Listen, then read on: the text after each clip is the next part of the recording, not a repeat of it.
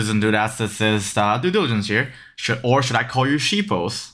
Oh, you don't want to be a sheeple? Ah, but the data doesn't show the same thing though.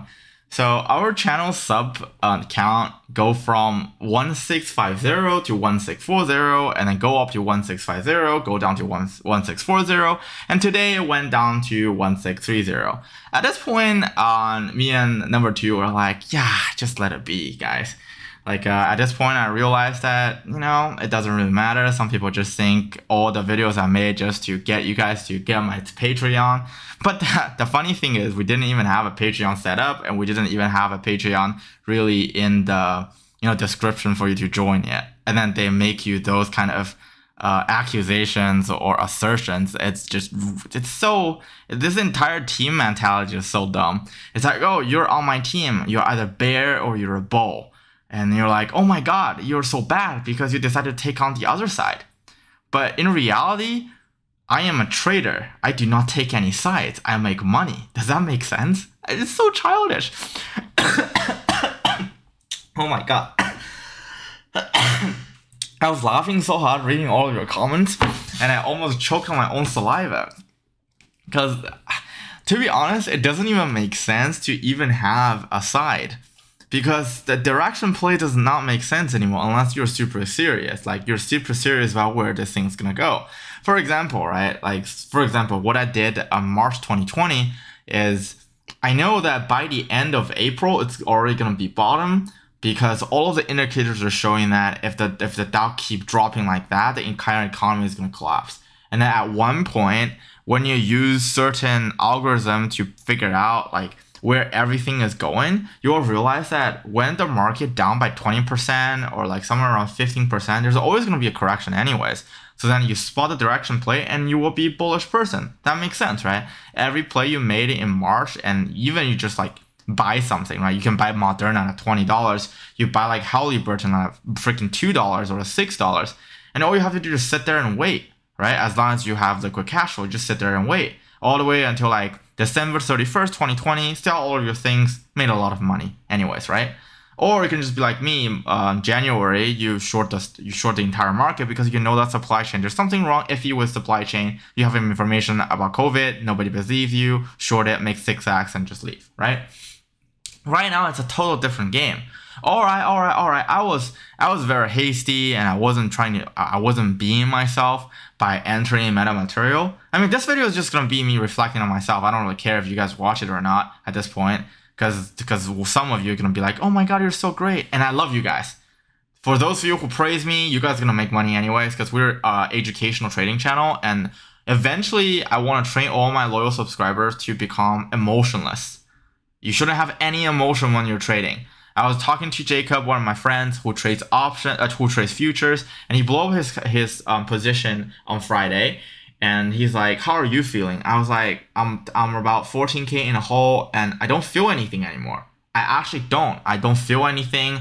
I can make everything very. I can make every decision very rationally. Directional play is not really in my playbook anymore." because it's it's just futile. Even though my you know my prediction can be super super accurate, um, I, I do those predictions. A is just to piss number two off because number two is like, there's no way you get it right. But but I did, and I consistently do. So I understand the the price action play, but at the same time, due to the liquidity tied up, I cannot make certain plays. So it's, it's a dilemma, but you learn a lot by, by by observing what my subscribers are saying, by observing the mass psychology plays out, it's just such a sheeple thing. Like you have such team mentality. But the thing is, no matter if you reside with the red sheep, the black sheep, the blue sheep, or the, the white sheep, it doesn't matter. Because all sheep's gonna get slaughtered by the institution anyways. You might as well just find a good shepherd and protect you, right? it's just so it's it's just like such it, all the team psychology is just so it's called groupthink. It's so stupid. Same thing as and when you say stuff like, "Oh my God, you shouldn't give Robinhood any credit," but the thing is, Robinhood has to pivot. Their business model is all about gathering the gathering as much as you know accounts as possible, and then they literally sell the accounts to you know hedge funds who are who are MMs, or they're just doing everything and go through dark pool because they're not licensed, or they do not want to have you know direct buying um, blocks of, of, of trades or, or direct buying trades as a part of their business model. This is what will keep them profitable. Because if you look at Fidelity's, um, you know, there are 10-Qs and 10-K, you realize that two different, it's two different type of brokerage firms. They have their own business model. Just because they're helping hedge funds or just because their business model benefits the hedge funds ultimately does not mean that it's not a good stock. I'm not here to criticize, you know, hedge funds a good thing or a bad thing. I always say, you know, hedges do this, hedges do that, the shorties. At the end of the day, it's all about how dynamic your trading strategy is. And, and you know, hedge funds can be good, hedge funds can be bad. You, you can't just, you know, it's, it's the same thing as racism. It's literally determination against hedge funds. You're just like hit hedge fund and hedge, like every hedge funds are bad. No, the, the reason why you guys can make money in AMC, do you really think it's because of retail flow? No, absolutely not. They added so much position at $28 and then everything just shoot up to $60. They are the ones who dictate the market. You're just playing around with the flow there.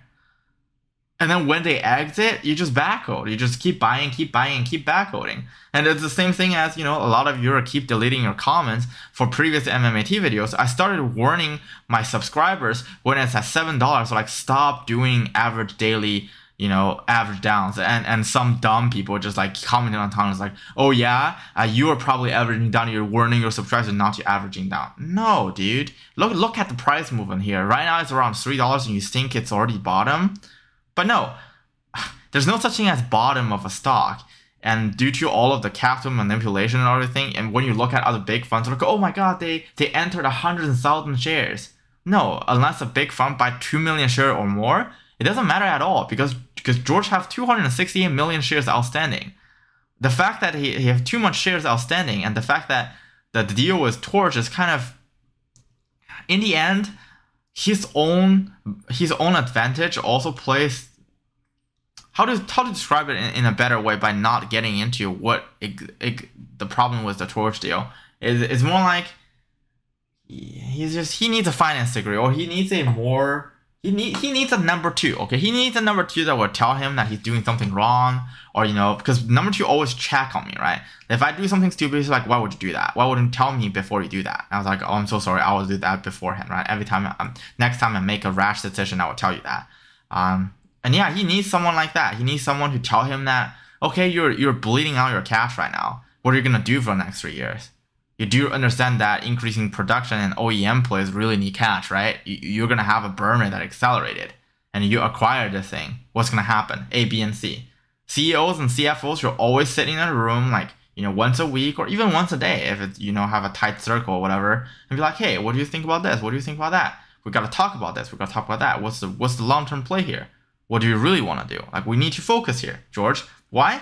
Because institutional investors, I I have the perspective of institutions, and eventually maybe I'll go work for an institution and I will make money. This is just how it goes. Because retail mentality will never make money. Because retail mentality is all, all it's like you go to a supermarket. Everything's marked down by 50%. It's Like, oh, buy, buy, buy, buy, buy. And what do you end up with? You end up with all the toilet paper that you don't need. You can buy. You can literally use them for 10 years and you keep consuming, keep consuming, keep, keep consuming. Because you want something cheap. But no, institute, it's not how the financial market works. I mean, I I finally have this epiphany that you know the entire financial market is a reverse logic. It's not a reverse logic per se. It's more about uh, you have to see it in a different perspective. If you see it as 80% of people who see it the same way, you're doomed to lose money anyways. Therefore, a lot of my views, a lot of you, a lot of you don't like, or a lot of you don't agree with. This is why I'm doing it right. Because at the end of the day, I've always proven myself to be right. And a lot of you who are my loyal followers, I love you guys. Why? Because you're the patient guys who see it, who who follow through and who see it, like who see my growth and who see who sees my prediction come through one by one, day by day, year by year, not even year by year at this point. It's month by month, right? All of my original positions, even the even the joking BB one, right? You guys know that I made a thousand percent on two of my BB contracts and that's where like that's where all the like you know meme stock players are at, at the peak and everything we just ride the wave We don't need to be on the opposite side of, of the team. We don't even need to pick a team. We can just we just make money. The reason why we lost money on MMAT because we pick a team. And the reason I can reflect on tell the reason why I'm losing 14k by the point right now is we are 14k in a red. It's been this is my seventh year trading. This is the only year that I've been unprofitable. This is the only time I've seen red. Why? Because I decided to take a side. I decided to take side. I decided to take George's side, which I shouldn't. I should never done that. Every information is factual. Every information is neutral. There's no such thing as bullish or bearish news entirely. All I have to do is I have to allocate my money right. And once I'm getting out of this hole, I, I have to be very disciplined like before. As you guys know that I have commitment issues. That's why probably I it's hard for me to find a girlfriend or whatever. Because all of the these years of day trading, all of these years of looking at the market, I have this very interesting perspective of seeing how relationship goes. It's just like buying a business, selling it, buying it again, investing something, wait for some catalyst and, and identify the real catalyst and identify what is FUD, what is real just bearish news by hitting draft in bullish new wrappers.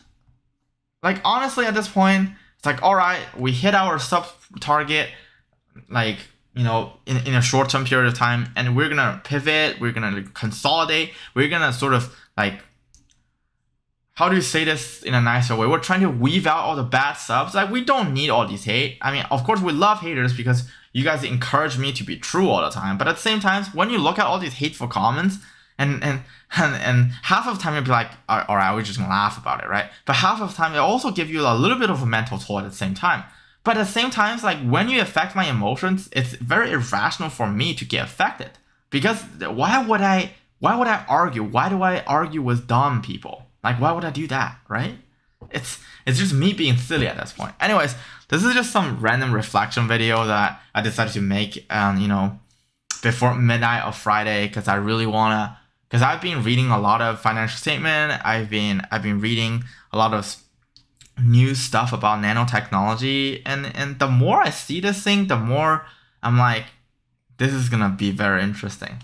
Anyways, uh, see you guys on the upside. If you guys see this video, probably gonna be like Sunday morning or Saturday afternoon or whatever, depending on how uh, dude number two schedule is. And a lot of people like, who's number two? You know what? Next week when we get together and we film some like general videos, I will let him talk something, you know, about real estate because he's he's itching about expanding this channel to like a you know a different kind of you know focus we have. We got we cover crypto, we cover everything, and of course we're gonna do MMAT uh, daily videos. But at the same time, it's like you know it really hurt us because of the sheeple mentality. Because you guys just want to take teams. No, if you want to be a good trader, you should never take teams.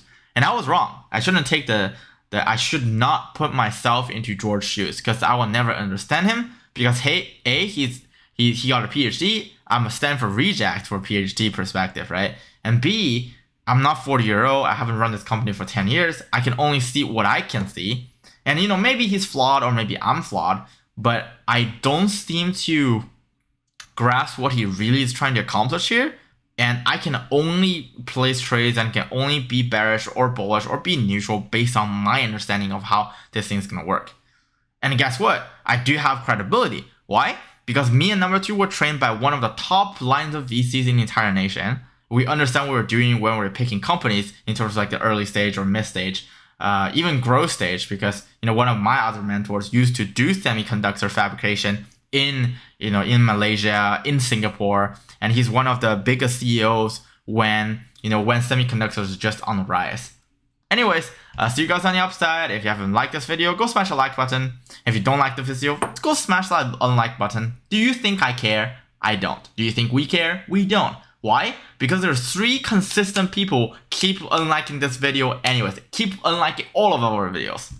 And you know you will get good lucky when you sub to this channel. And you know, if you unsub, just be happy with you losing money. Because you do not have the foresight to see what is really going on. Or you just you just fail you just fail to accept the truth. You're in denial.